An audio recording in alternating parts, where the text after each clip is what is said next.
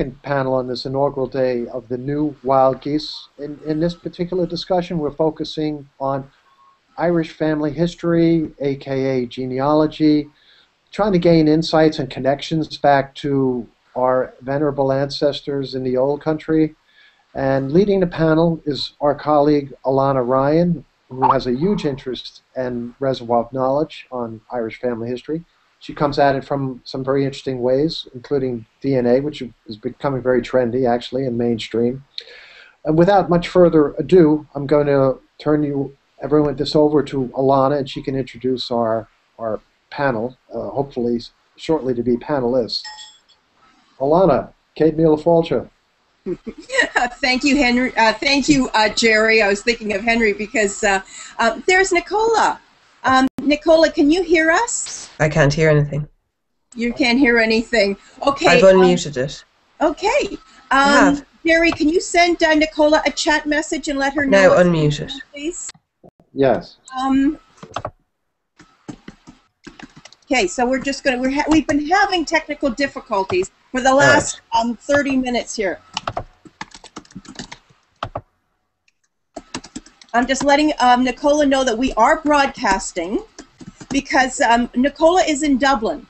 And um, she, we were having some, oh, she's gone out. We're going to try to bring her back in again. So, um, Nicola, the, uh, I'll start uh, fresh.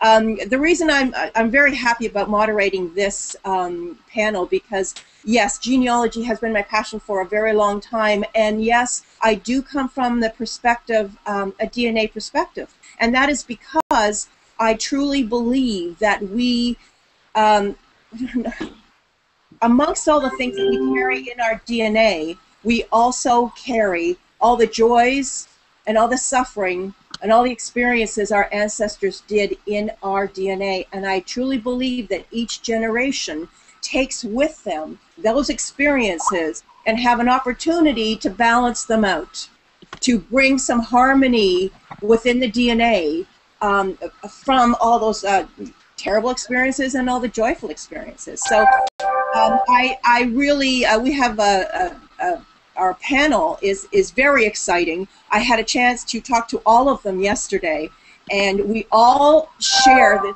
same passion, and we all know that genealogy is one of those, um, let's say, some people call it a hobby, that um, is is just loaded with synchronicities and um, serendipity and experiences that that give you goosebumps and and make you tear up because it, it, it hits the heart because it is in our DNA. So our, I believe our DNA responds to um, all the research that we're we go through.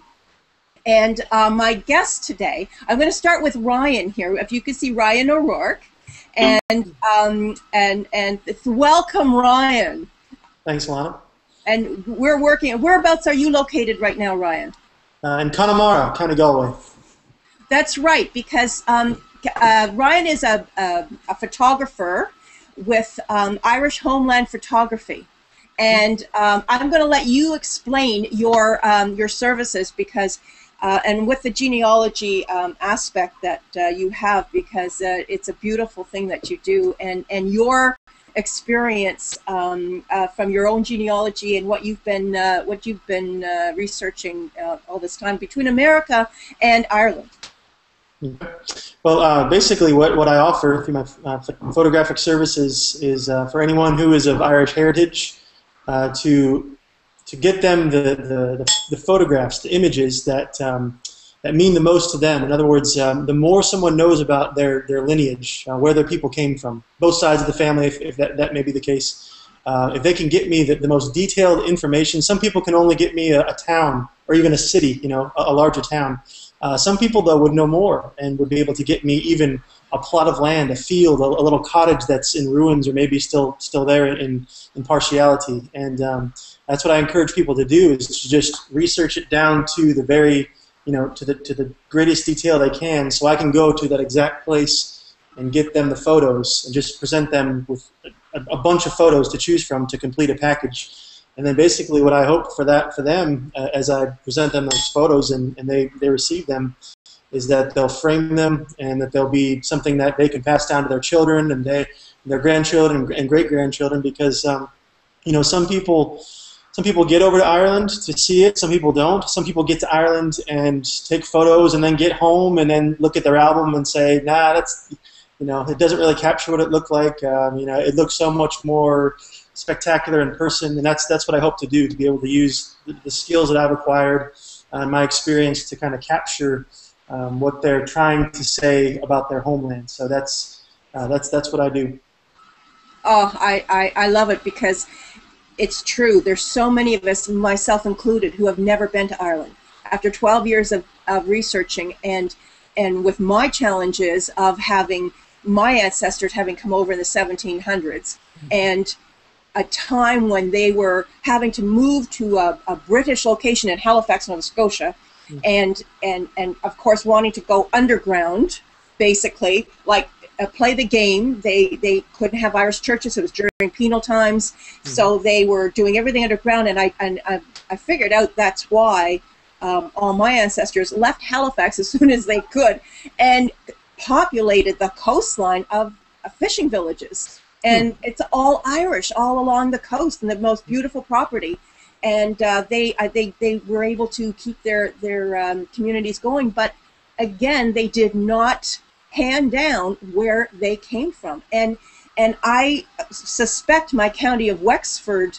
Um, I have suspected this for a long time. A few of us have.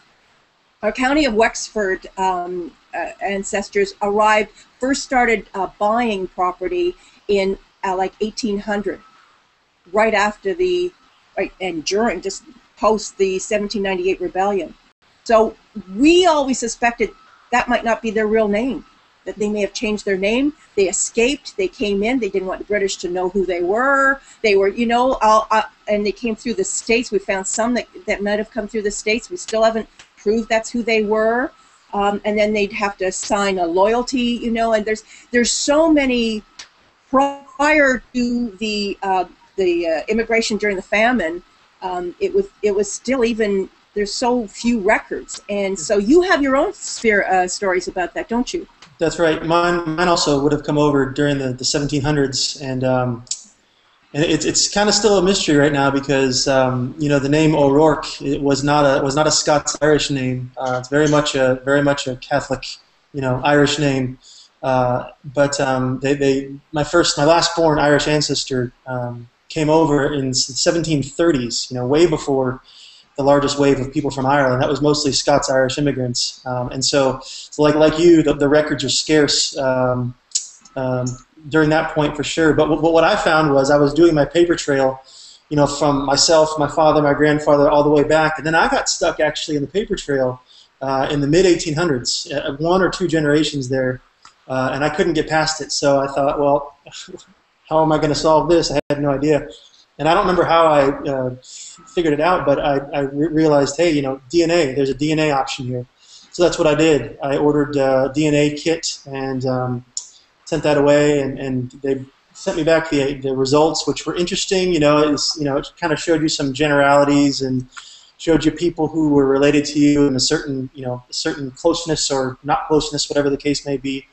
Um, but it wasn't until I got to Ireland and I met Tyrone Bowes from um, Irish Origins, and we live not too far away now. Um, came across him, and he was able to help me uh, analyze my, my DNA results and narrow it down to the point where he knows within a five kilometer radius exactly where uh, my people originated, basically. Um, so that, that was really the breakthrough for me. So that's that's what I encourage people to do. Like it doesn't I, I won't say this it's true across the board, but um, it doesn't necessarily matter if, if you get stuck on your paper trail and can't get past it. If, if the records just mm-hmm. never existed or vanished, you know, not the end of the world, okay? Uh, someone like Nicola can, can probably help you a lot there, but even mm-hmm. if the record doesn't exist, um, like, like as far as I can tell is the case with me, um, do your DNA. And, um, and, and somebody, somebody like um, uh, Tyrone or, or, someone else can help you with that. And um, and that that's what I want people to do. Is if, if they just generally know, oh, I heard my grandfather say that you know his grandfather came from County Cork or something like that. Well, that's good, uh, but but you need to know more than that. You want to know more than that. And the, yes. the, the, more you can know, uh, the more I can help you get photographs, beautiful photographs of exactly what you want, of exactly the place where they lived, worked, played, fought, died, all this stuff. So, so that's that's what I you know know as much as you can. Help me, help you, basically. To to quote Jerry Maguire. I, I just want to interject what what we've been flashing behind Brian's voiceover is his is Ireland Homeland Photography's website, and of course you might have seen a glimpse of some of Brian's stunning work, and of course now you can see his story uh, on as as it's emblazoned across his his about us page. But I did want to interject right now, ongoing through the day. In fact, is we're running two contests to do wild geese. One is a we're looking to reward the most popular article explaining or laying out one's own particular Irish story or or some compelling aspect of the Irish experience as, as our writer has come to know it. So uh, we would invite you to participate. Ryan has been kind enough to provide the top prizes for that contest and for a second contest we're running, uh, which is the, the most compelling freeze frame of the Irish experience, again, from your personal filter, if you will. So Ryan is also providing the, the, pack, the custom photo package to reward the most popular photo that embodies the Irish experience. And that contest is ongoing. It's only available to members of the newwildgeese.com, and it requires membership, in fact, to participate and use, utilize our, our new site to, to record, record and share that. So just wanted to make that brief commercial, and I'll, I'll turn turn proceedings back over to you, Lauren. Thank you, Jerry. Um, Ryan, I, I, I just wanted to also add to your story because when you mentioned Dr. Tyrone um, uh, Bowers on uh, Irish Origins, when um, I ran into his um, site when he was first starting it, and he hardly had anything on his webpage. And I got him into an interview for the Wild Geese, and we have it on our on our um, it's on the uh, blog site. And uh, it was it was fascinating uh, what uh, he discovered, and and so I mentioned to him exactly what you and I were just talking about is that I had uh, we have no way of getting this information from um, our Peter Martin of 1749 Galway, who helped found the city. And so he said, if you could get a, a, a, sample, you know, if you can get a DNA test to me. Of course, I have no, um, uh, in, I have no, um, none of these relatives in my uh, Ontario area or any male relatives. So, uh, but a distant, distant cousin who's been helping me do this research back in Halifax had had his Y DNA test done.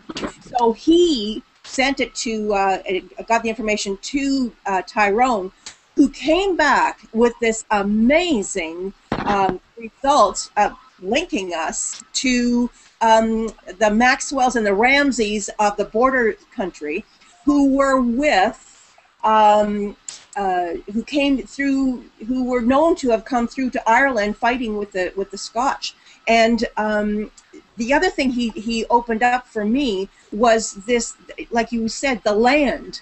He opened up the migration of mm-hmm. of of the DNA, and I I found that extremely um, interesting. It, it just it, it it actually brought it home even closer to me because now I wasn't just looking in Galway, which we like Adrian Martin, um, uh, who's the uh, historian for for the uh, uh Galway Martin clan he he couldn't find any record of our Martins, and so the whole rumor that has been handed down for 250 years just was not panning out. And so I got him, I got um, Adrian and Dr. Tyrone Bowes together in um, in Galway, and they sat over a pint discussing all of this.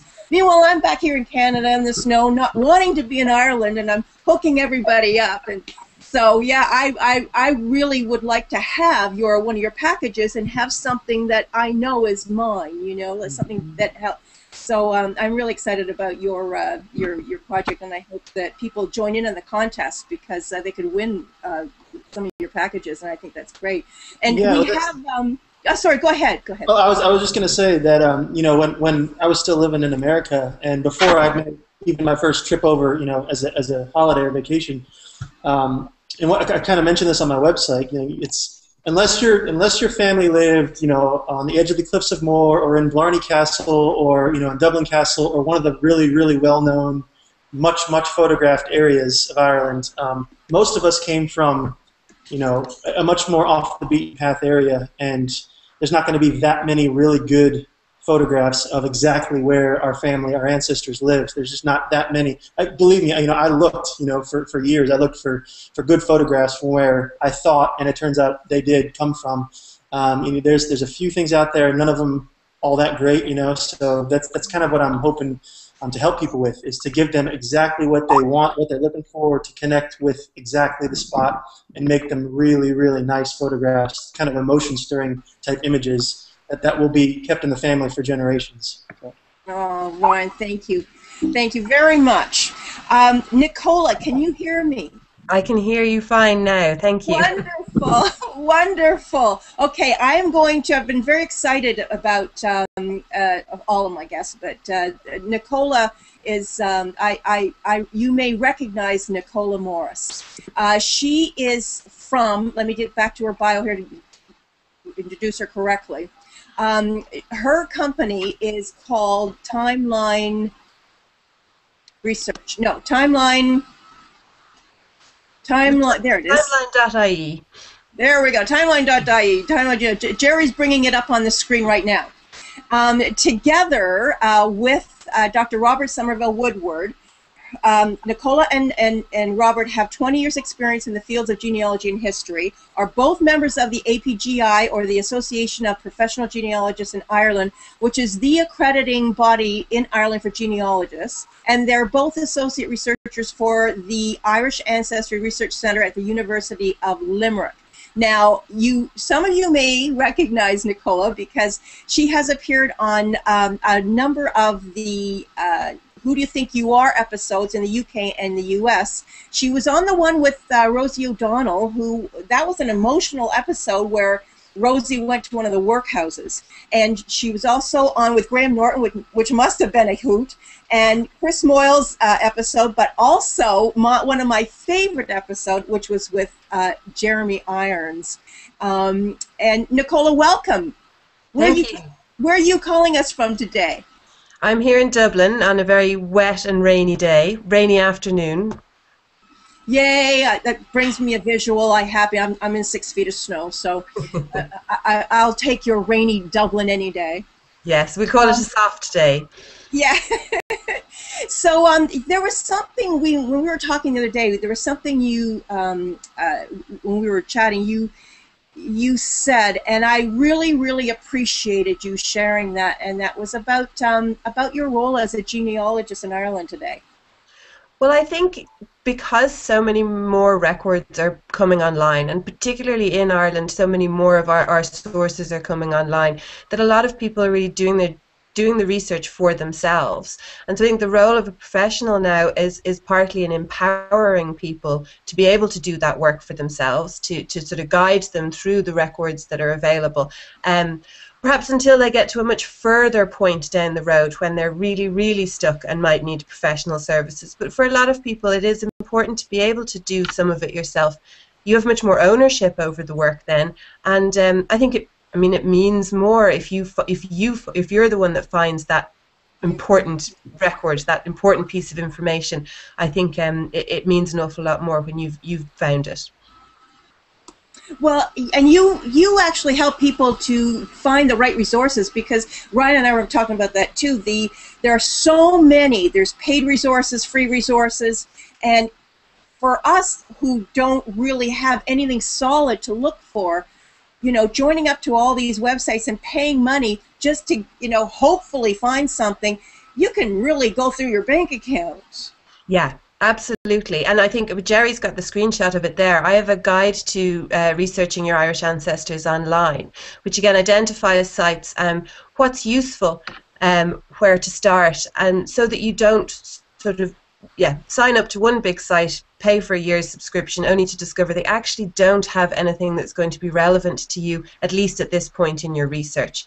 Um, so it is get try to get a handle on, on understanding what Irish records there are first, what's going to be important for your research first. For example, births, deaths and marriages in Ireland are online at familysearch.org, so that's a free site.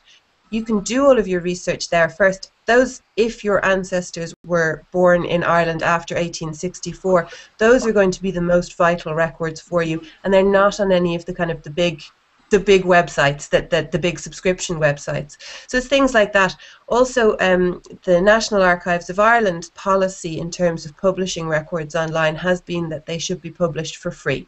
So the 1901 and 1911 census again an, an vital resource for anybody with ancestors who were in Ireland at that time is available completely for free on the on the National Archives website. And some of the other sources that they've published as well such as the Tithe Applotment books. Again it's a land survey dating from the 1830s so it's much earlier. It can be very vital for people who again who left Ireland during the famine, the Tithe Applotment books might be the only uh, record collection that's that, that's going to be valuable for you. So there's plenty out there that's for free, and it's it's it's legitimate if you like. I mean, it, it it's it's it's been properly um, digitized and made available. Excellent. Um, I have another my own question, Jerry. Are there questions in the chat room? Because I have a couple of my own, of of course. Yes, I just had to uh, ungag myself. Hold on. Yeah, we have a we have a question here. Nicola, do you have anything specific planned to for the gathering to take advantage of the focus the gathering is providing?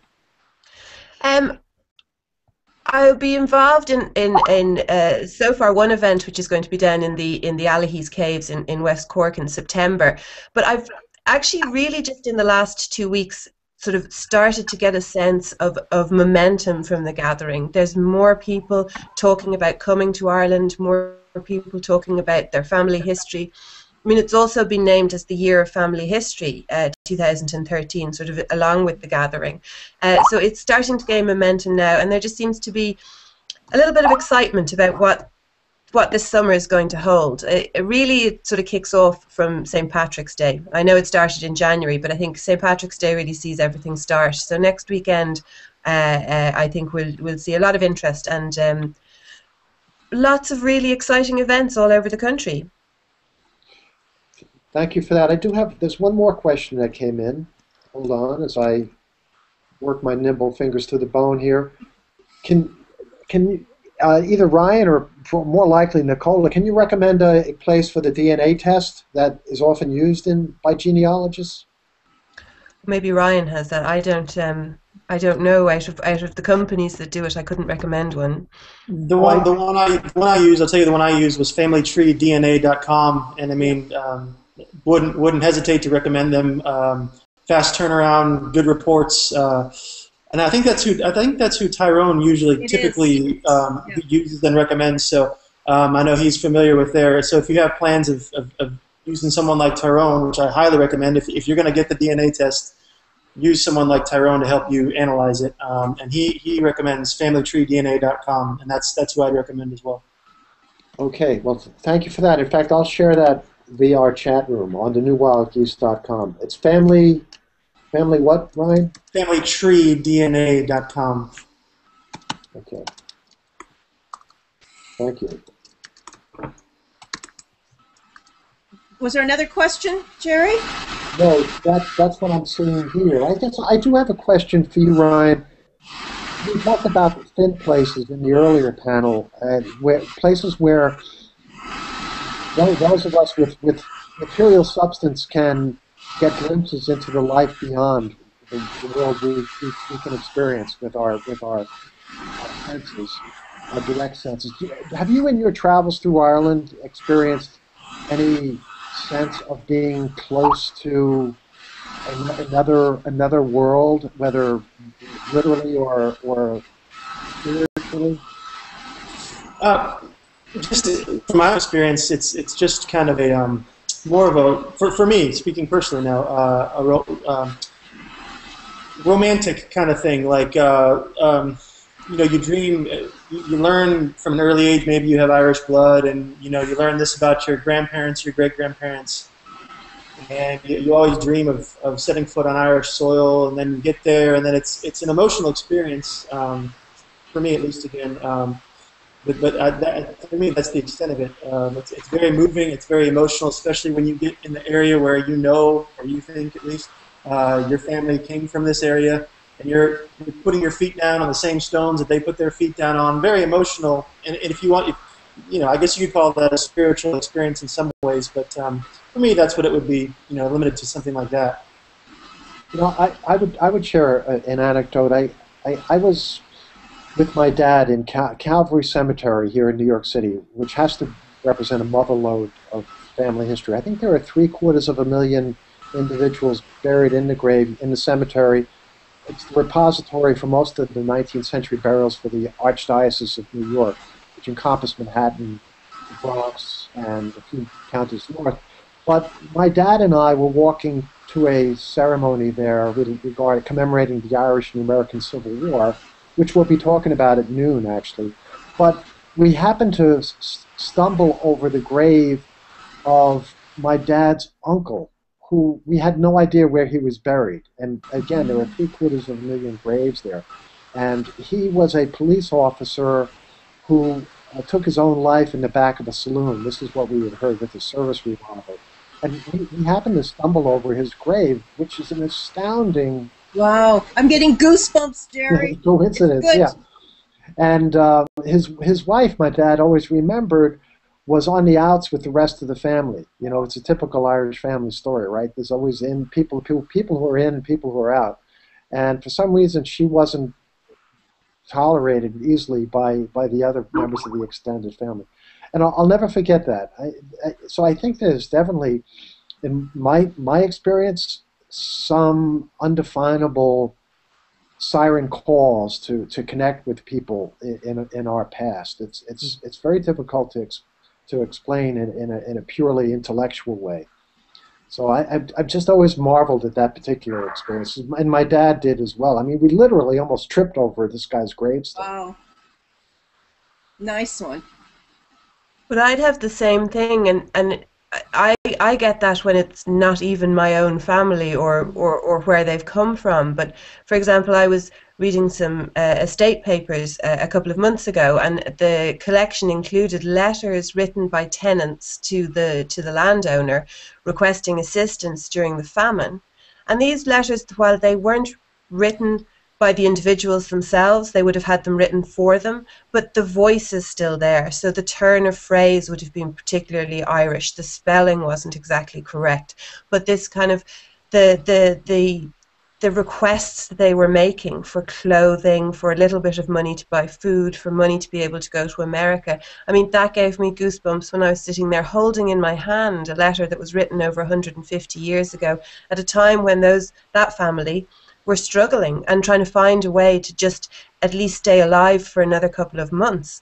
Um, and and it's it's so real when you get to touch those documents, you know. And even though I wasn't related to this person, it's still that history just sneaks up behind you and taps you on the shoulder and says, "No, this really happened, and it, it, it happened to people." You know, I would I just interject too another shameless plug. At two o'clock, we're talking about the sad legacy of Ireland's Collini and the Magdalen laundries, and I, I was adopted as an infant, uh, and my um, I, there so I, I, guess my question to you, Nicola, is that uh, there are a lot of people who search for their birth parents, as I did, who make use of professional genealogists. Does that comprise a, a significant part of your your business, your your clientele? It's a, it's a small part, and actually, because people who are undertaking that journey, it's a very um, it's a very emotional and, and very personal uh, search that they're making. It's because we're aware of how difficult a search like that can be we don't tend to take on a lot of clients for that because it can cost a huge amount of money what they're asking for um, and there's no guarantee of any success so what we'd rather do would actually uh, give people advice on what they should be doing who they should be contacting where they should be looking and then if there are small things that we can do that are perhaps sort of more manageable for their budget, then we can undertake them. But um, it, it's I think you have to be very careful that you don't sort of charge people an awful lot of money their expectations are very very high and you're only you know that you're going to come back with a negative response or a negative result so uh, I, I I'd always be very careful about uh, undertaking that kind of research yeah and just to elaborate the reason why adoption ties in often with, with the Magdalene laundry phenomenon is because many, many of those young women were forced, coerced into relinquishing their children for adoption. So that that's this the, the link for me in bringing it up here. Yeah, that's right. And and there's very sort of few records sort of prior to the 1950s or, at least prior to the 1930s that that documents these transactions, I suppose, uh, uh, which is what makes it very very difficult for people. Thank you. Thank you for sharing that insight. Uh, Nicola, um, that brought up another uh, question of mine, and uh, I think we touched on it the other day. Um, dealing with uh, secrets in family histories, and how many how many people in, in, in families don't want anyone digging into their history. I've, I've run across it a, a number of times where I've, I've, I've suggested to people, well, you know, take a, a microphone and a, a, recorder and go and uh, record your 80 year old great grandmother's stories and get them before you know it's too late and you and you have to go and pay money to go dig up that information where you could get her story down on on on record. But but then they run into the people are saying no we don't want you digging into that. I've i've had i've got people in my own extended genealogy family who have said they they their parents even their parents are saying they don't want them putting their trees up. They don't want anybody digging in. And then we discover that stuff happened and they just cannot face it that's one of the reasons that i really like the uk uh, who do you think you are shows is because they were there was many of them were, were um, not afraid to bring up the, um, the, the syphilis in their family, which you know until penicillin was uh, rampant, it was everywhere, and and uh, things like that where people were um, uh, hiding the secrets in their family. Genealogy brings that all out, and so it's shaking people up and having to make them face this the the shame that that we've been carrying in DNA, carrying down through stories, and and I think it's helping because so many people are are finding out that so many families have gone through the same thing. It's not just the poverty and the suffering. It's it's dealing with like the Salini babies and all those babies that the limbo babies that that uh, you know back bef- when when such a thing as purgatory existed and um, you you know if you hadn't been baptized you couldn't be buried in in, in consecrated ground. So all of these thousands and thousands of parents who were burying their children outside the fence. And now that property is, you know, being used for uh, subdivisions. And so these stories come forward, and then all of a sudden the church says, "Oh, there, we, we didn't really mean that there was a, a purgatory. We, we that wasn't our stand." And now, you know, things like that. Like so many shameful stories were hanging on. And and one of my lines, as I was mentioning, that um, I'm now doing a research and I've got a discussion going on on the Wild Geese website where anyone who joins um, the Wild Geese can start their own discussions, start their own blog, get their own um, uh, Irish history uh, topic that they're passionate about um, on the site and get people uh, joining in. And mine is about the Irish children and orphans and um, uh, people, kids that were picked up in Dublin and sent to Liverpool from the sheltering homes and sent to the Liverpool sheltering homes who ended up getting caught up in this whole British home children's scheme that was just horrendous, sending all these children um, to uh, Canada and Australia, and um, there, you know, and then all these descendants are trying to find the records of their family because they they're not allowed to get them.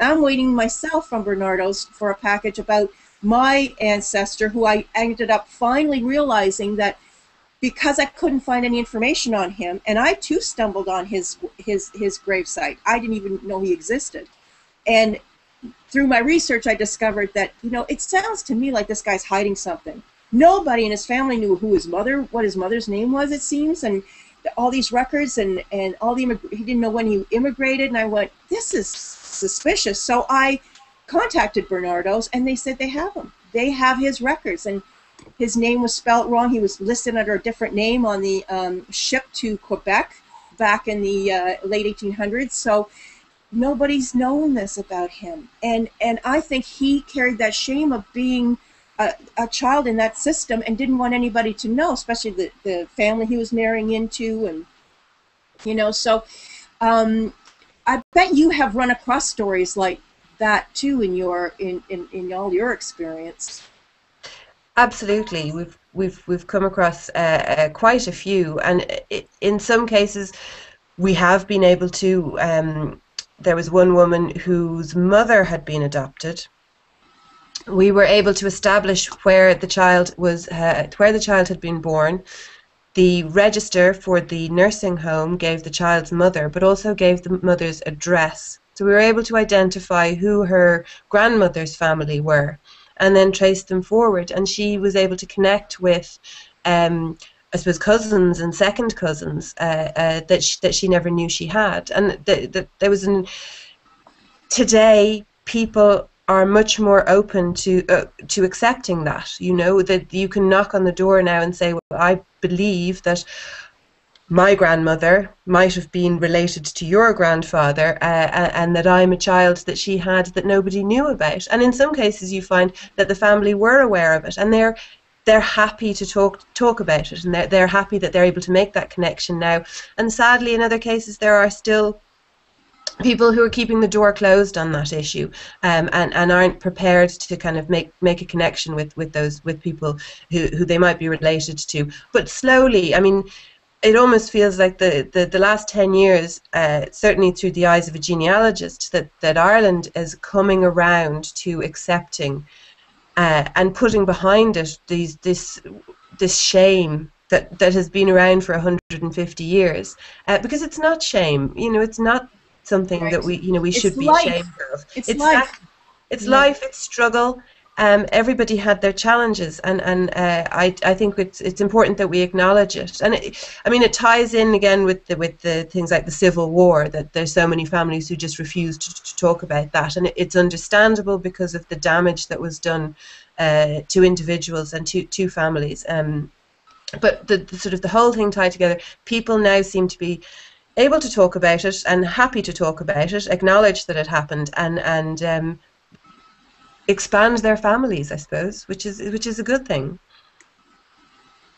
Uh, that yes, Henry um, from the um, first panel that we had going, his um, this Ireland XO, this Ireland reaching out is is a, an, an, amazing um, organization that I, I I mean I've just become aware of myself, and to have to, to understand that there are um, volunteers from every single county in Ireland ready to greet and host um, uh, us, you know, the diaspora from all over the world coming, you know, and not knowing anyone. Like uh, if I came over there, I wouldn't know anybody. I wouldn't know um, uh, where to go or what to do, or I don't have like family there, you know. So um, to have somebody opening their arms like that to, like I think Jerry was saying, uh, sending kisses and hugs to uh, the diaspora, to you know, I mean, I you know, I know that there was some um, uh, uh, controversy about, uh, you know, uh, money gets involved and stuff like that. But, you know, genealogy, family history, and and and uh, a tie to a land that has been known forever as as being a mystical place of legend and and because of that i think it affects everyone and I really believe that this anything that can be done to to to bring people there, to allow us to go back, to to invite us and and to to to tighten that grip. Um, I, I I'm really grateful for. I think it's it's it's um, it's it's you know, and Ireland's there's a lot of people out there that have uh, studied the um, uh, origins of our of mankind. You know, all our the, the stories from all different um, uh, nationalities and the all the different histories. And you know, a, a, lot always comes back to the Celts and comes back to the Ireland and and it's um, it's part of I think a lot of the world. This tiny little island, its its history and its magic. Um, and uh, I think I'm going to have to, unfortunately, I, I, apologize to everyone for all the technical uh, difficulties we had at the beginning. Um, uh, we um, and thank you for keep that you kept trying, Nicola, to get back in, and, and we got it working. I, I really appreciated this this time. Um, I want to ask you one more question. Um, what was it like working with Jeremy Irons? Oh, it was wonderful. he was very nice, and he was just. He, I mean, he was so excited about his story, and that and that and that it was, it was wonderful to meet him and be part of and be part of his story. So it was great. Yeah, he was so into it. I, I really enjoyed his. And for anybody who wants to know, you can watch them all on YouTube. so you don't have to. in Canada, we can't get anything. I love my, you know, the UK stories, and uh, you, you, know we can't get them. So, so go to YouTube and watch all and watch Nicola's uh, episodes. In fact, how was the Rosie one? That was pretty emotional too. It was, yeah, and it was really exciting to have made that connection. Again, it was the famine period. It was really hard to find records. They make it look easy. It's not. We spent months trying to find that family, um, but it was, you know, again, it, it's making that that one single record that just puts your feet on the ground in Ireland, and you're able to say, this road, this path, this field could have been the same one that my ancestors were walking down 150 years ago or 200 years ago. And uh, it, it may seem small, but actually, I think it, it means the world to a lot of people. Hmm. It does. And Ryan can get out there and take a picture of it. Exactly. Yeah, yeah. Hey, Ryan, do you have anything else you want to say? Well, I just wanted I was going to flash up real quick on the screen when you were talking about the um, the, the children who were died before they were baptized and all that, and they were buried in those the cemeteries outside the gate. We actually have right next to our house here, right on on the on the sea, there is a. Um, I'll, I'll pull it up here. There's a one of those children's cemeteries, and uh, this is a photo of, of it here. Do you see that? Just double click on your screen. Oh, there, uh, screen share. There, there it is. is.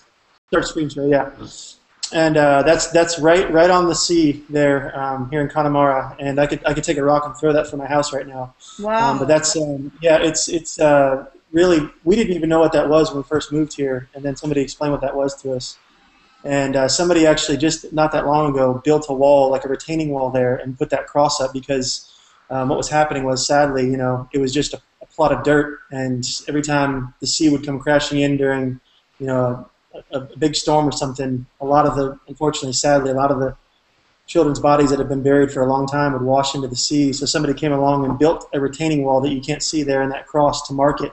And now uh, people go down there and visit. And, and actually, some of the, the families that uh, buried children down at, at, this spot still live in this little town that we live in. So it's it's kind of it's sad, but it's kind of neat as well. Yeah, it really brings it home.